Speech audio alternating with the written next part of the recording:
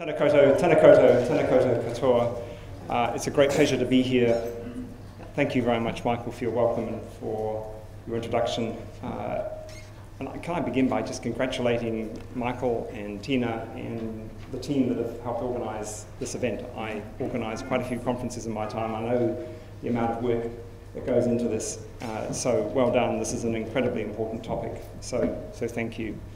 Um, I'd also like to pay tribute uh, in my introduction to the work of the Children's Commission, and particularly the current Children's Commissioner, uh, Dr. Russell Wills, who established uh, early last year the Expert Advisory Group on Solutions to Child Poverty, a group of 13 people, of whom I was co-chair with Dr. Tracey McIntosh of Auckland University.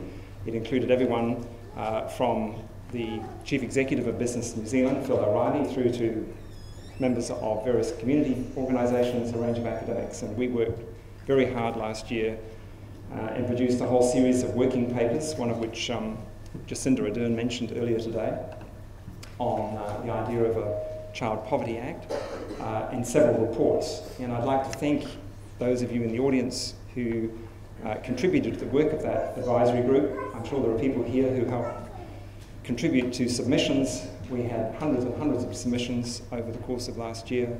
Uh, many people came to public meetings. We had public meetings and down the country. So for those of you here who contributed that work, um, a great many thanks.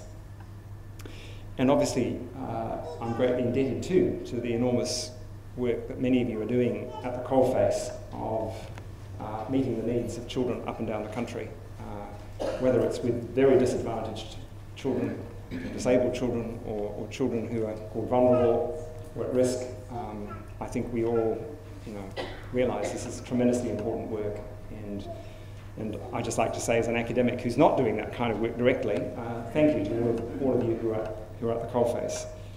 Um, this event already today has kind of triggered many, many different emotions within me. I felt real sadness and shame in really deep concern when I've heard some of the statistics that various speakers have brought to our attention. I've felt sort of admiration at the good work that many people are doing. I've felt inspired um, by some of the examples of things that are, are, working and uh, the efforts that people are making. Um, I feel daunted by the scope and scale of the challenges we face on multiple fronts in relation to disadvantaged and vulnerable children. And um, I also feel deeply frustrated and slightly embarrassed uh, at the fact that there are so few men in the audience.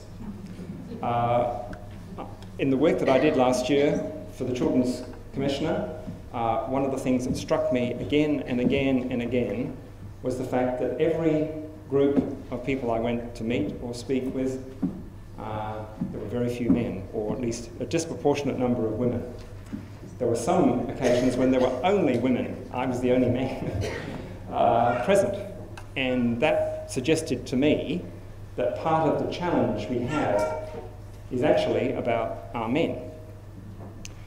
How do we get men interested in and concerned about the issues we've been talking about? Because if we can't, then there's a very substantial part of the electorate that's not going to vote for children's concerns and is not going to voice on behalf of children. And I, I just think, you know, you look around the room today and I suspect it's, you know, 90-10. And I pay tribute to all the wonderful women here, but, you know, there's no reason why there shouldn't be more men. So, uh, forgive me if I've trodden on any toes in saying that, but um, uh, it's just been so absolutely striking for me as a male over the last 18 months. Um, now, much of what I plan to say in the next half an hour or so uh, has very kindly been said and very eloquently by people like Justine and Jacinda and Judith and Nicola and Deborah and many others. Uh, so what I'll do is I'll try and travel very quickly through some of the territory that's already been covered and dwell more uh, in, in greater detail on issues that haven't been covered so fully, and that is particularly the policy realm. I have prepared a fairly full paper for the conference. There are copies available, and there's also some um, uh, tables that we'll be looking at uh, shortly. A number of people here began with their personal story, and I thought I should just mention briefly uh, one or two aspects of, of, of my life. Um, understandably and accurately, many of you will see me as someone who's very privileged. I'm a professor in university, and I've had a very um, fortunate life in many, many respects. Some of you probably don't know, however, and this is one of the reasons that I found working on child poverty quite, um, quite positive in a whole variety of ways. Uh, when I was nine, my parents lost everything. Their business, father's business, failed. And uh, we no longer had a house, we had very little furniture, we had deck chairs for our lounge furniture. I remember that very vividly for many years. And that had a really quite significant impact on me as a young person. Two things in particular I remember very vividly from that time insecurity and shame. Insecurity and shame. The shame of having kids of my own age and stage coming into the home, and we had no curtains, we had deck chairs for our furniture, we had hard wooden seats for our, you know, very, very basic table in our dining room. Um, we had very little. And I can remember feeling the insecurity and shame. Now, I need to, I need to uh, temper that by saying we were also incredibly fortunate. My dad was a medic, he was a doctor, and although he'd lost everything, he was in a position to earn a substantial income. My mother was in a position to go out to, go out to work, which she did. Uh, and so after a relatively few years, we were able to buy a house again. Most poor families in New Zealand are not in those circumstances. They're not able to go out and earn a large salary. They're not able to go and buy a house again, not least because houses today are so much more expensive in relative terms than they were 40 or 50 years ago. But my own experience of loss for the family, financial loss, and the insecurity that that generated, and the sense of shame has, has never left me. And, and it's been striking for me that when my kids have had friends who are poor, uh, they have witnessed through their friends the same sort of experiences of going into their friends' homes and their friends feeling a sense of shame that by comparison with my kids and the kind of home they live in, their friends felt uh, shame about their circumstances. So these issues are really quite close to the bone for me in many, many ways. So, what I want to do is to uh, focus, better use the right governance here, um, start with Nelson Mandela, who amazingly is still alive. uh, there can be no keener revelation of a society's soul than the way it treats its children, and I think that's a very pertinent and relevant statement for a conference like this. Um, so in terms of, if I can get this to work, what I wanted to do was just say a little bit about uh, the nature and measurement of poverty, very briefly, something about the overall sort of shape and dimensions of poverty in New Zealand, and because that's already been mentioned quite a bit today, I'll be quite brief about that, but I do want to highlight some of the really critical features of the landscape of poverty in New Zealand. I want to say a little bit about, whoops, went too fast. I want to say a little bit about um, the reasons why the society has tolerated relatively high rates of child poverty now for more than two decades, uh, and then want to focus on what we might do about it. What's, what sort of strategy might we have for trying to address child poverty over the coming years, and talk a little bit about the prospects uh, for success. And just by way of sort of highlighting the, the scope and scale of the situation, in the very short space of time from 1986 to 1994, the rate of child poverty rose threefold in this country, from around 11% to over 30% on one measure, and from around 7% on another measure to over 20% uh, on that same measure. Uh, so we witnessed uh, a really extraordinary set of circumstances during that short period. In addition, the children in households regarded as workless, in other words, where the parents were on the benefit, one or other, the unemployment benefit, the domestic, domestic purposes benefit, sickness benefit, and so on, the proportion of children in those households who were deemed to be poor on one particular measure went from 20% to 80% in the space of a few years. and we really haven't addressed that problem in the last 20 years. We've heard today that poverty has many significant negative impacts on children and on the wider society. I'm not going to dwell at length on that because we've already heard uh, a good deal about that. But it's something we need to be constantly mindful of. So, um, when you think of poverty, uh, we often think uh, of malnutrition, homelessness. Uh, uh, we think of perhaps really abject poverty, if you like, where people don't have enough of, of all the sort of basic things uh, for, for life. Um, and these are sort of the grim pictures we think of, um, and which probably most of us, if I can move this on, um, uh, don't, don't see very often except uh, in tragic cases in Africa or whatever on, on uh, television screens. But it's important to bear in mind, gosh, I wish this thing would work better, um, that there are different sort of degrees and levels of poverty, but fundamentally, poverty is about not having enough of those things which most people regard as essential. And what people regard as essential is something that is evolving over time. Uh, there are, of course, the very basic essentials for biological existence, for food and water, uh, but there's also shelter and clothing and health care and education.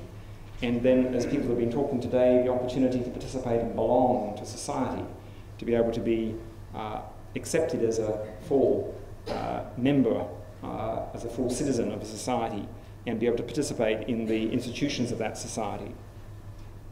Um, so, I don't know why this. There we go. Okay.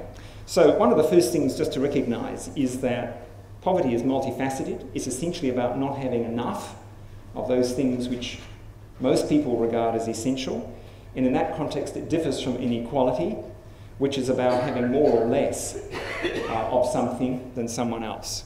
So, we do need to distinguish between poverty and inequality. Uh, they are different concepts, they are measured in different ways. Uh, they tend to overlap. Where you have a lot of inequality, you tend to have more poverty.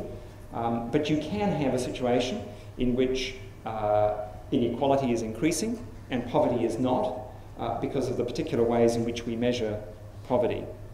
Um, essentially, there are two ways, as Justine mentioned this morning, in which we me measure poverty in, in, developed countries like New Zealand.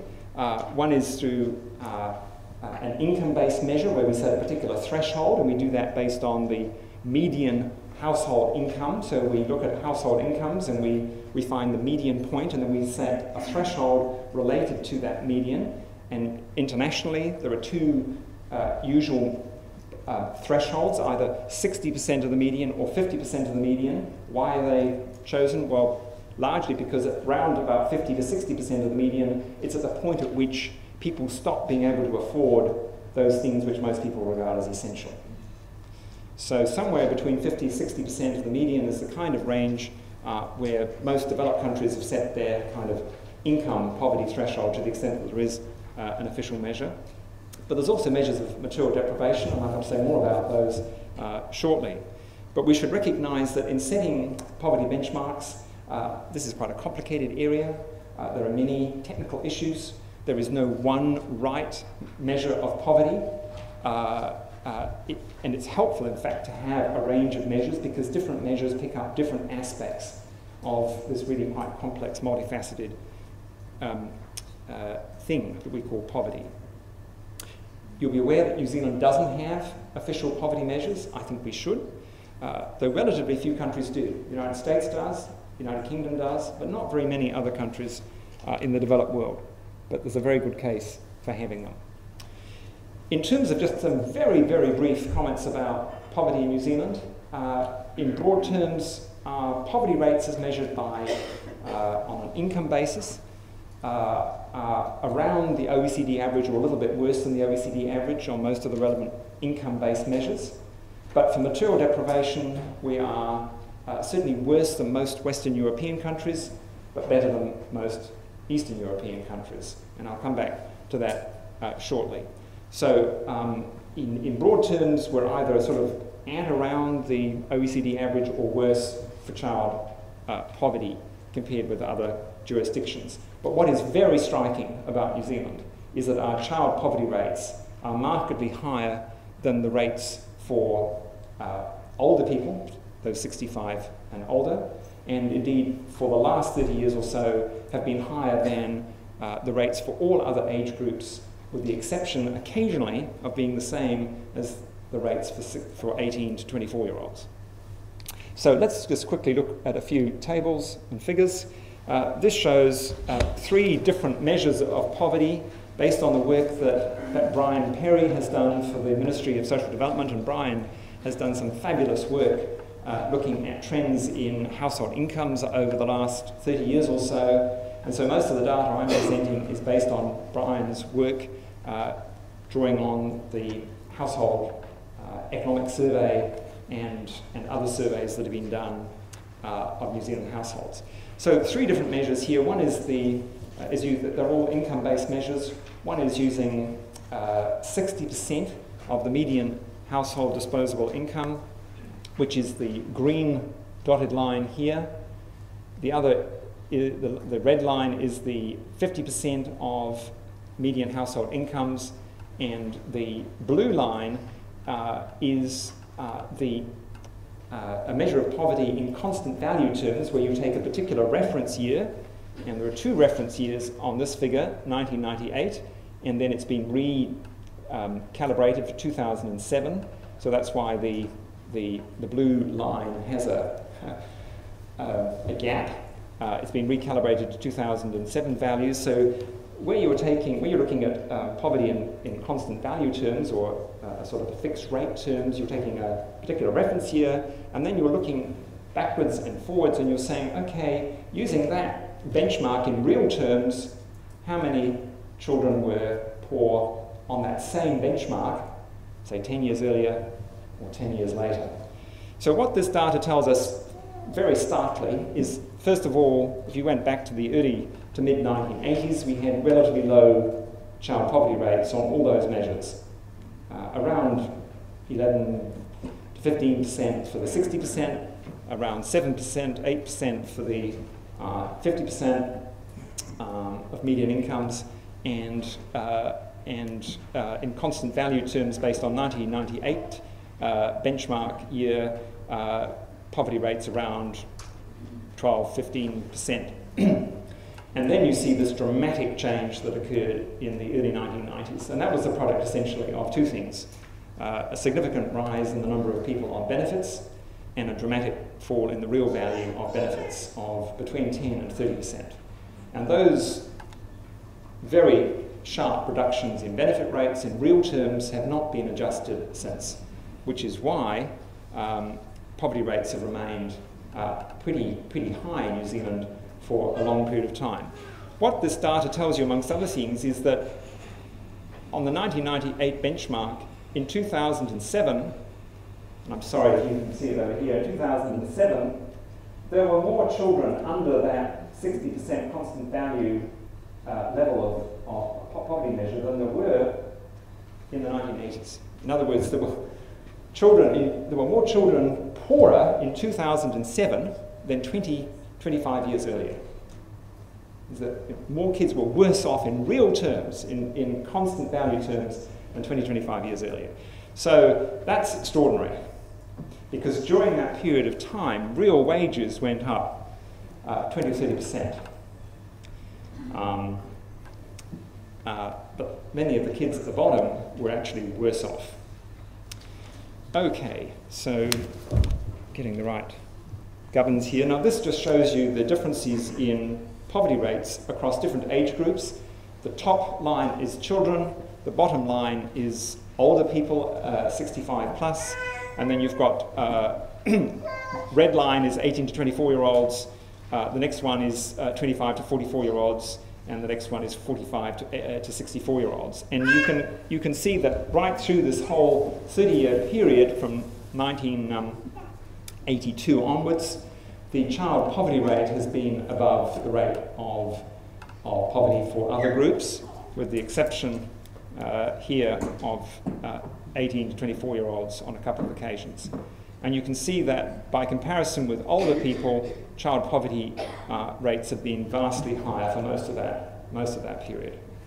Uh, that tells you, amongst other things, that we have made a choice as a society to ensure that our older people don't live in poverty, but we've made a choice that a significant number of our children will live in poverty. These are policy choices uh, that are amenable to policy change. Not, not simple necessarily and not necessarily cheap, but amenable to change. Um, in terms of absolute numbers, the numbers of children in poverty depends on the measure you use. Uh, so depending on the measure, anywhere between something like 170,000 and 265,000 uh, would be would be a sort of a valid measure. But uh, as I said before, right at the beginning, there's no one one um, right measure of poverty. Each measure has its own uh, integrity, and we need, I think, to to be inclusive here and recognise that different measures show different things. Now, just to show you Australia as a counterpoint to the New Zealand situation, if you remember in New Zealand, our poverty rates were quite low and then went up very, very steeply and then have slowly come down a little bit. Well, in Australia, they started off worse than us 30 years ago, and they've basically tracked down or around the same. A very, very different pattern uh, using the same sort of benchmarks. So, just to show you, you know, across the Tasman, not far away, uh, policymakers have adopted a very different uh, approach to uh, family support and, and, addressing child poverty. Um, this is partly because Bob Hawke, uh, back in um, uh, the mid to late 1980s, uh, at one election said we were going to abolish child poverty. he won the election, and so they decided they better do something about it. um, okay, so very quickly, this will be familiar to you as a result of what people have said earlier today. Uh, if you look at the data, Child poverty is particularly concentrated in families with young children and in families with three or more children. So it's particularly a function of families with young children, not surprising because that's when parents typically uh, can't both be in work, or at least in full time work. And, and, la- and larger families uh, suffer because of the particular way we've designed our family support arrangements, our family tax credit arrangements, which give disproportionate amount of support to uh, smaller families rather than larger families. Uh, as was mentioned, the, the, beneficiary rate of poverty is much, much higher uh, than non-beneficiaries, but nonetheless, over a third of children are in households where at least one uh, parent is in full-time employment. So it's not just a beneficiary issue. Uh, and as we mentioned earlier, the figures with respect to Māori and Pasifika are truly stark. Um, on income-based measures, uh, child poverty uh, in Māori and Pasifika communities is double those of Pakeha community uh, on a material deprivation basis, hardship basis, probably three times. There's also much greater persistence of poverty and probably more severe poverty. So, um, Māori and Pasifika, particularly, um, children particularly suffering. Um, so, some of this will be familiar to you. I did want to just, if you just look at point seven there, uh, the, the, the figures here are really very stark. Uh, around 6% or 50,000 children, that's around 5% of all children, there's a 1 point, well, 1 million and 60,000 children in this country, so 50,000, 6, 5, 6% spend 13 to 14 years in a benefit supported family uh, by the age of 14. uh, and around 21% to 180,000 spend more than half of their first 14 years in a benefit supported family. So if the benefits are set at a rate that ensures that that family is in poverty, those children are going to be in poverty. And that's essentially what we've done. And this shows it very graphically. Uh, this shows what's happened in terms of poverty rates for children in workless homes as opposed to, if you like, working homes. Um, and uh, the huge rise here is essentially the, the benefit cuts, and the little decline here is the reintroduction of income related rents by the former Labour government in the early 2000s. Uh, and then um, you've also got here the impact of working for families which delivered assistance disproportionately to families in the workforce rather than beneficiary households. So you can see that they benefited in particular as a result of working for families. So those figures really are graphic and extraordinary, and I find shameful and sobering. Um, dear me. Okay, so moving then to material deprivation measures. When you're trying to work out uh, material deprivation, you're basically asking a number of questions. First of all, what are the things that people need? What are, what are things that can be regarded as essential? And you can do that by literally asking a group of people like this, 100 people in a room, okay, do you regard X as essential? Do you regard people uh, having, Say, a raincoat or a pair of sturdy shoes or the capacity to heat their home? Are these essential or non-essential?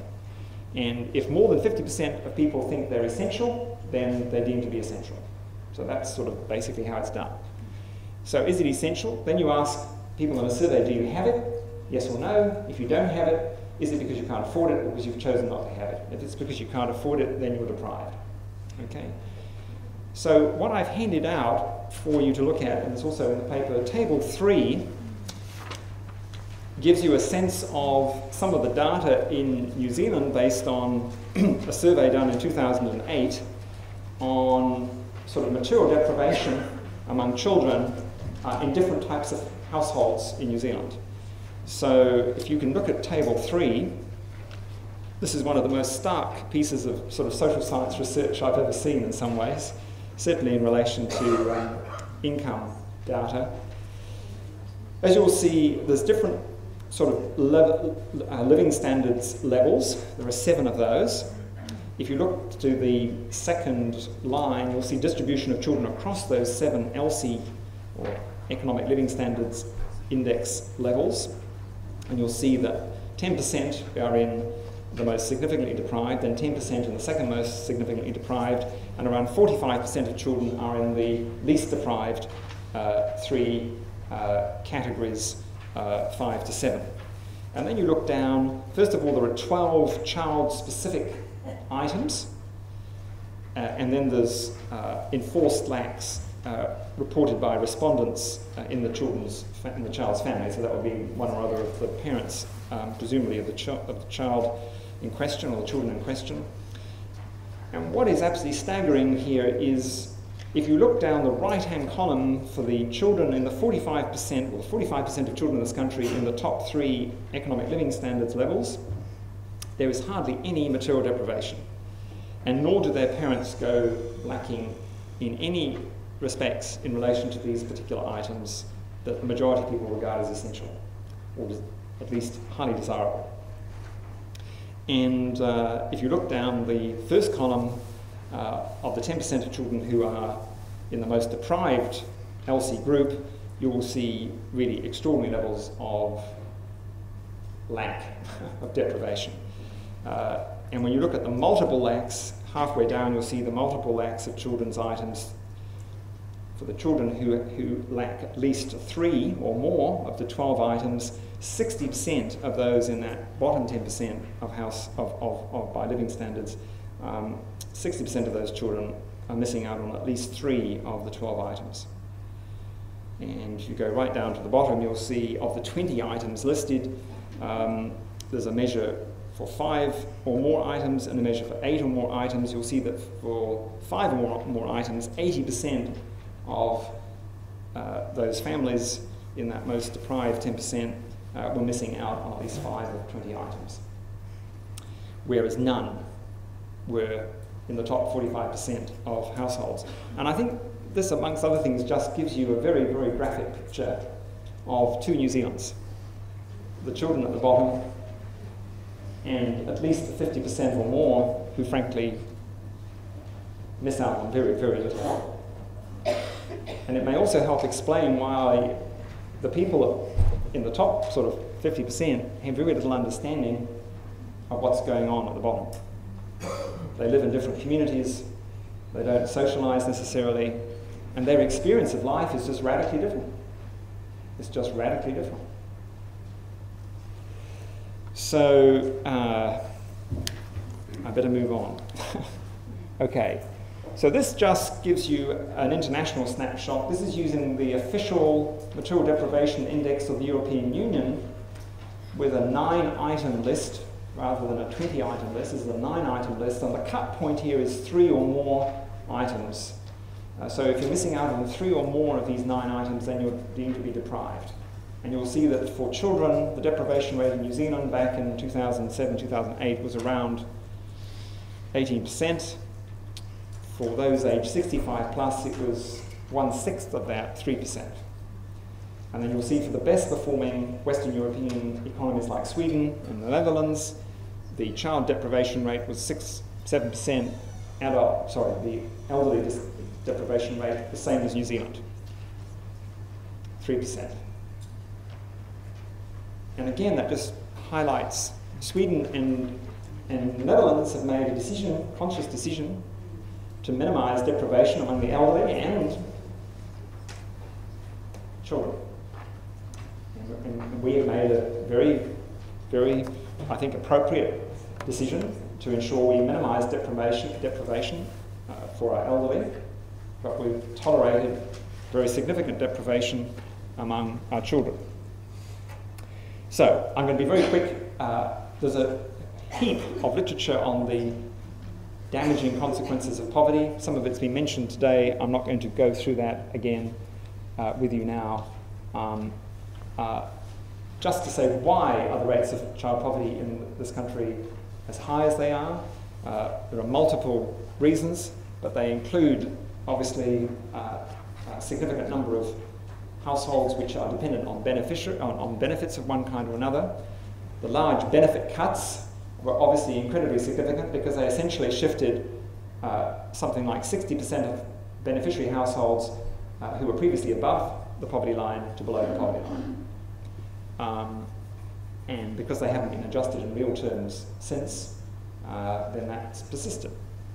Then you've got a whole lot of other things. Uh, the core benefit rates, as I said, have been indexed to CPI but not adjusted for increases in, in wages. Wages uh, during the period 1994 to 2011 went up something like 24% in real terms, and household median incomes went up 40% in real terms, while those at the bottom stayed still, basically. Um, We've also got the problem that our family assistance programs like Working for Families have been designed primarily to assist working families rather than families who don't have work.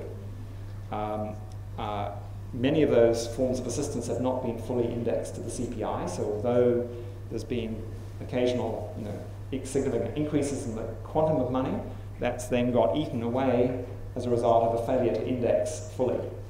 And that's happening right now as we speak. The Working for Families package the indexation provisions were amended several years ago, so they're no longer fully applying. So over the next few years, uh, those who are dependent on family, uh, family tax credit and so on will be, and in-work tax credit will be getting less in real terms for their children. Um, we've had issues over the uh, design of our housing assistance programs. The accommodation supplement, for example, has not been adjusted for CPI I think, six years, uh, and it's capped a certain amount. Um, uh, um, and the way it's designed is such that if you have a household with four people in it, that's the maximum you can get. So if you happen to have six children, there's eight of you, well, you get no more in terms of the accommodation supplement than a household with two kids and two adults. Uh, so the way we've designed our policies has reinforced and intensified poverty, particularly for larger families. And who has larger families? Well, particularly Māori Pasifika, particularly Pasifika. We've had these huge increases in uh, residential uh, electricity tariffs over the last 20 years, 70% or so. And of course, this is a kind of a basic item for most households. Uh, so if the real cost goes up 70%, but your real incomes remain constant, well, you're going to be relatively worse off. And for those with very little discretionary income, obviously that has profound consequences. It means, amongst other things, people literally can't afford electricity, or they, they, they're constantly running out of money, and which means they're, they're, they're, you know, they're having their electricity cut off uh, on a fairly regular basis with very damaging consequences. Um, moving right along, how do we explain the fact that as a community, as a society, we've tolerated much more significant levels of child poverty and deprivation for more than 20 years? Uh, well, it can't be because of a lack of data, because we've had some really good data. It can't be because of, simply because of a lack of advocacy, because we've had some very, very powerful advocates on behalf of children. Children's commissioners, the work of the Child Poverty Action Group, uh, numerous clinicians and other medical health-related groups up and down the country, etc., etc. So I, I, don't think we can simply explain it on, on, on, a lack of advocacy. It seems there's been other factors at play, uh, not least a, a, really, I think, quite a fundamental shift in values uh, in this country. And let me just mention in that regard uh, a little bit of the data that we have on what's been going on. Um, it's probably best if I read this, it will be quicker. Support for egalitarian values in New Zealand has been in steady decline over the past three decades on the basis of the social science data we have available to us. As a result, there is now greater acceptance of income inequality and relative poverty and less support for income redistribution. For instance, whereas in 1992, around 70% of those surveyed endorsed a progressive tax system, with those on higher incomes paying a greater proportion of their incomes in tax than lower income earners. By 1999, support had fallen to 60%, so down from 70%, and by 2009, just over 50% supported a progressive income tax. So a very substantial reduction over the period of 20 years. Likewise, the proportion of New Zealanders who support government measures to reduce income differences between the rich and the poor fell from 50% in 1992 to 40% in 2009. And there was a similar reduction in the proportion of people who thought that income disparities were too large. Related to this, less than half the population, 43%, agreed in 2009 that the government should provide a decent standard of living for those who are unemployed. In other words, the majority of New Zealanders think the government should not provide a decent standard of living for those who are unemployed. And that, of course, is reflected in what we've done. So, uh, one of the fundamental issues we have to face if we're going to address issues of child poverty is how do we shift people's values so that people value children not living in poverty and not experiencing material deprivation. And I think that is a really fundamental kind of sociological and, and, and, ethical challenge we face as a, as a community. Now, there's a lot more I could say on that, but I'll move on now to policy because I want some time for questions. So, on the policy front, what, what can and should we be doing? Well, the first thing is we should be learning lessons from other jurisdictions. In particular, those countries which have persistently had low levels of child poverty, like the Scandinavian countries, like the Netherlands, like Austria. And we should also be seeking to learn from countries which have made a deliberate matter of public policy to reduce their child poverty rates uh, over extended periods of time. And that includes the United Kingdom uh, from the late 1990s until at least the global financial crisis, uh, Ireland, roughly the same period, and Australia from the late 80s through, uh, uh, in fact, uh, until quite recently. So um, uh, there is lots that we can learn from those countries. Fundamentally, uh, the countries which have low rates of child poverty and material deprivation are countries which typically have relatively low rates of inequality, income inequality, and or a very effective system of uh, redistribution of income through the tax and welfare system. Uh, so if you take a country like Canada, which is actually quite unequal, like the United States in terms of, in terms of market incomes, Canada has a much, much more effective uh, redistribution system in terms of its tax and welfare system, which means that uh, whereas its child poverty rates uh, before tax and welfare around the same as the US. After tax and welfare policies take effect, its child poverty rate is halved relative to the United States. So you can, even in the context of a country with higher than average uh, levels of income uh, disparity or income inequality, you can nonetheless uh, have an effective system re redistribution which will significantly lower your poverty rates.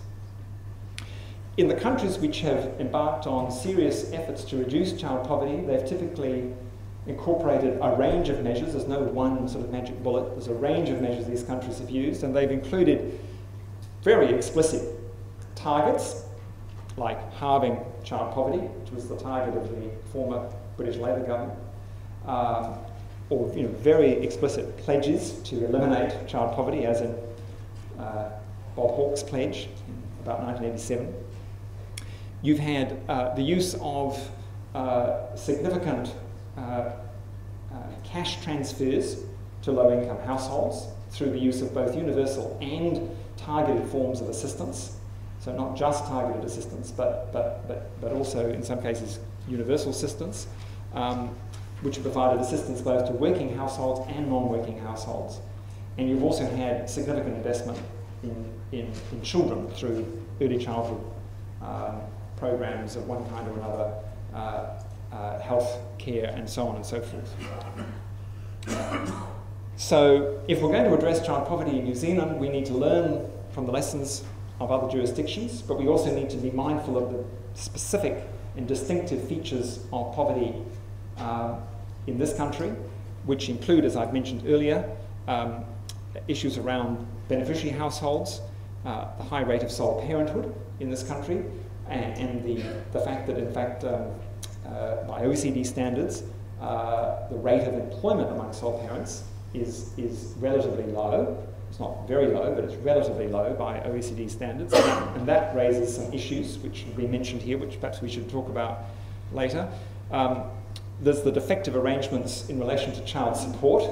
Uh, we have a system in this country, unlike that most other countries, where if you're a beneficiary and your non custodial partner is paying uh, maintenance, uh, all of that, uh, at least unless they're earning a huge amount, uh, simply goes to the Inland Revenue Department. So the, the, the custodial parent gets nothing. Uh, and not only does that mean that the child doesn't enjoy any benefit, it also means that there's a disincentive for the non custodial parent to pay, which potentially disrupts relationships uh, between that parent and, the, and, and, and their child or children. I've mentioned the poor design of income support arrangements uh, and electricity prices. The one thing I didn't mention earlier, but it really is absolutely crucial, and that is house prices. One of the reasons why poverty has become more intense over the last 20 years or so is because, in relative terms, housing costs have gone up quite significantly. And we need to address that problem if we're going to address child poverty. And that's a very, very significant challenge. And it's not just the price of houses, of course, it's not just the issue of low affordability, it's also uh, the problem of poor quality we have a very poor housing stock, uh, which has been damaged further by the leaky building problem and, of course, the Canterbury earthquakes. So, um, the final thing we need to recognise, and then I'll get to the policy and I'll be as quick as I can, but the other thing we have to recognise is the magnitude of the challenge. If we were to take families who are currently sitting at around 50% of the median household income to, say, 60% of the household median income, we would need to give those families a minimum of around $100 extra a week. Bear in mind that around 16 to 17% are below the 50% median. So that even if you took those who are currently on the 50% median to the 60% median by giving them at least $100 extra a week, in some cases it would be double that for a big family, um, you would still only get them, you'd, you'd, you'd, still have you know, 15, 16% below the 60% median, which is significantly more than was the case 30 years ago, when it was as low as 11%. So, uh, in giving households an extra $100, let alone $200 a week, is a substantial fiscal cost if it was to be done solely through the tax system or the tax welfare system. Um, we're talking you know, several billion dollars. And that means we have to face the reality if we're going to do that of raising additional tax revenue. And that raises the questions as to how we do that in a fair and reasonable way. But there are ways, in my view, that we could. So, um, the expert advisory group on solutions to child poverty wrestled with these issues. Uh, we took the view that we can reduce child poverty, we ought to reduce child poverty, and we ought to reduce it significantly. We suggested, as a minimum, sort of 30 40% reductions over a period of time. Uh, and severe and persistent poverty, we thought we should, we should be seeking to reduce uh, uh, poverty by a much greater amount than that. Um, we put forward a range of proposals. covering both income support and in-kind assistance. Uh, and I'm sorry, time is sort of running out on me, so I'll be very brief here. But we basically took the view that we needed to recalibrate the family tax credit system and move all uh, rates up to the top rate, which is currently paid to uh, the families with 16 and 17 year olds who are the first child.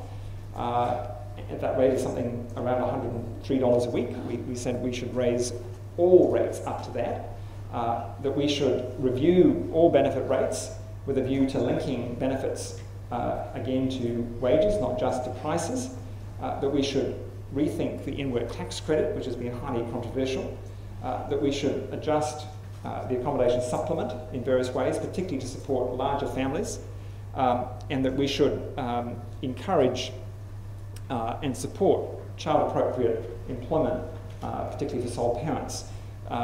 And that would be through, in particular, support for those parents to work, through uh, adequate assistance with, with childcare, uh, early childhood education, uh, transport, and so forth.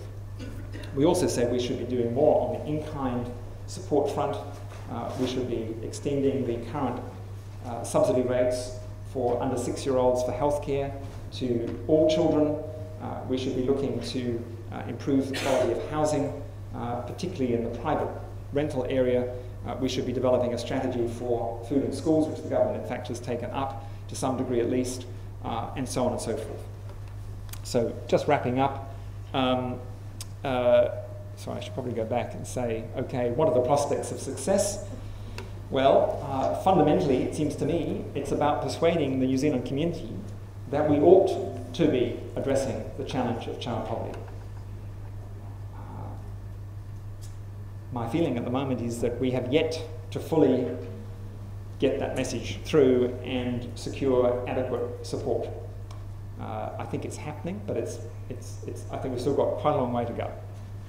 And then fundamentally, if we're going to be delivering greater assistance through the tax welfare system to families, and particularly to low income families, we have to address the challenge fiscally of how we raise the revenue to support that. Uh, there are options available like a capital gains tax, uh, reintroducing inheritance taxes, a somewhat higher uh, top tax rate and top uh, trust tax rate, and so on. But of course, these are politically sensitive matters, and unless you have the groundswell of support uh, for addressing is issues of poverty, then obviously politicians are going to be very reluctant to introduce such measures. I've mentioned there Aristotle, uh, and his emphasis on logos, ethos, and pathos. What's he talking about? Well, he's talking about the use of argument and reason, uh, the use of ethical arguments, principles of justice, the rights of children, and so on, and of course, pathos, um, emotional appeal, highlighting the shame uh, of having a society like ours, uh, which is providing food to, what is it, 40 million people around the world, uh, but which has many of its own children uh, not adequately nourished. Partly, at least in some cases, because their families simply can't afford uh, to feed them well. And finally, just to conclude, oh dear me, there we go. All right. So, fundamentally, what I've tried to lay out before you is that child poverty is a serious issue in this country. We have changed dramatically as a country from a situation where we had low poverty rates for children, at least on an income measure, to now quite significant poverty rates for children, rates that are substantially higher than for most other age groups. We have tolerated that for a long period of time. We should not have done so. It is having damaging consequences, both for the children who suffer and for society as a whole. We will all pay in the end uh, through a variety of ways. Uh, we should be addressing this challenge we can address the challenge. Other countries have done so. We have a lot to learn from them. We have some distinctive issues which we need to address, which I believe we can and should, but it requires public support uh, for the, to have this, if you like, the political wind uh, to generate the policy changes required. So I hope I've left you with a, a message that's both sobering but also hopeful. Uh, thank you for your attention. Happy to take questions for a few minutes. Sorry to use up too much of my time.